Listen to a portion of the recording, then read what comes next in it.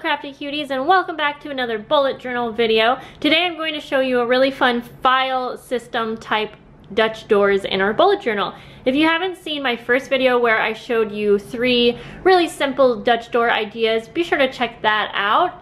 But without further ado, let's hop right in.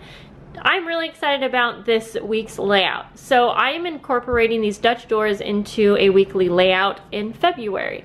So what I am going to do is I will be having three pages as my doors. So I have already figured out and marked on my pages where I want to cut these doors. So if we can kind of ignore that these pages are here, I want to give you an idea of what I'm going for.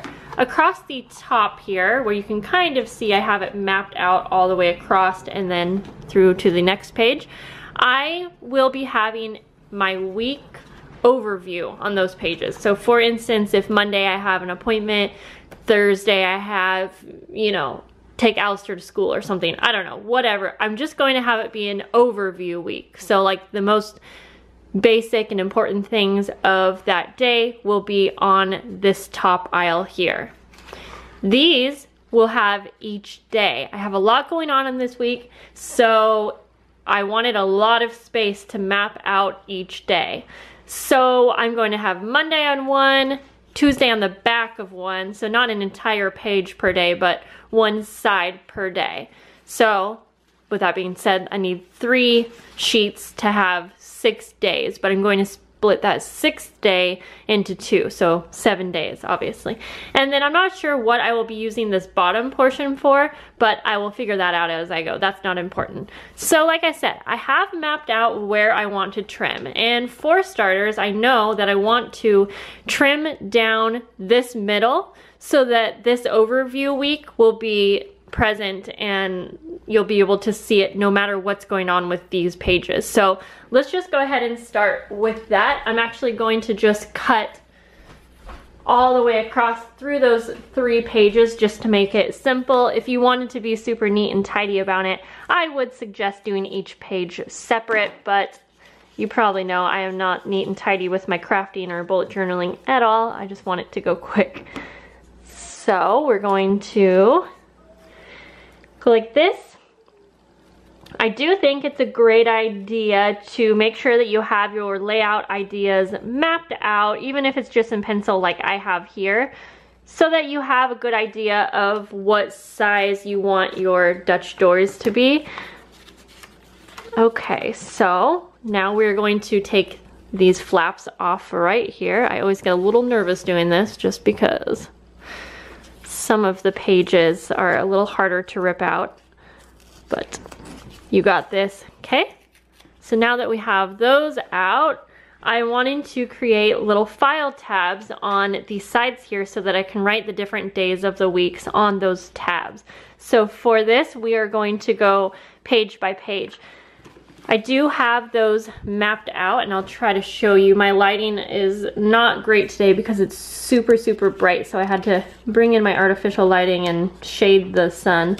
But as you can see here, I am wanting all of these pages to be a little bit shorter than my complete layout. So I know for sure that I'm going to go one row down, if you can see how I have that mapped out.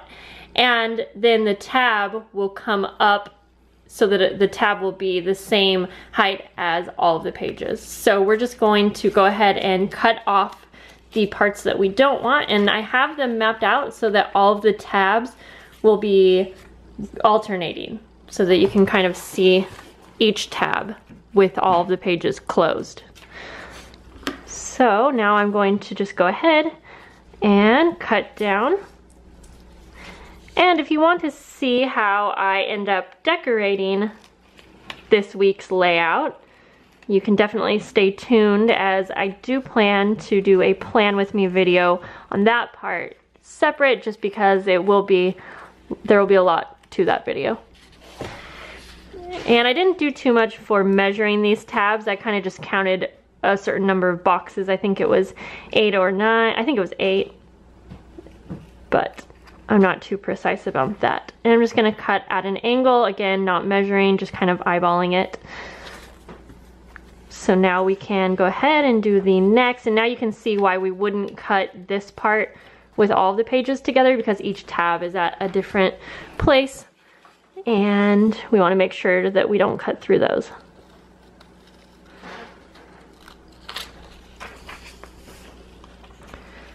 And I'm cutting at kind of a weird angle here, so just bear with me if I'm I don't know what I don't know where I was going with what I was just saying, but here we go. And I really don't like cutting the page numbers off. I have done it on a couple of the doors that I've created in here.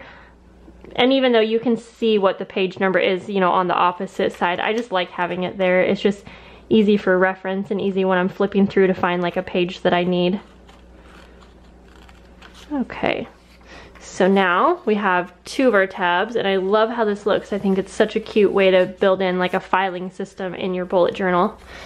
And I think it would be really awesome to do a complete month like this. And if you don't need too much space in your bullet journal for your layouts, you could do a complete month. You, you would have your month overview on the two main pages and then each door would be a week because you could do like a complete weekly layout, you know, on these two pages like this.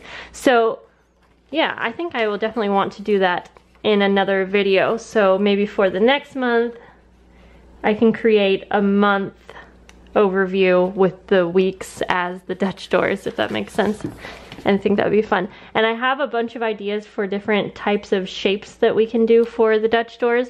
So definitely looking forward to making more of these. Okay, so now we can just cut down this last strip and we will be complete. I'm not going to put washi tape on the edges of these ones.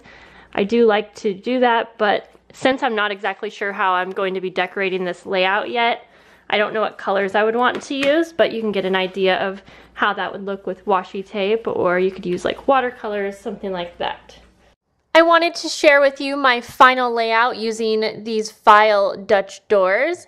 And here it is. I did share my complete February setup, which included this layout here um, in a previous video. So I'll have that linked if you want to see the complete month.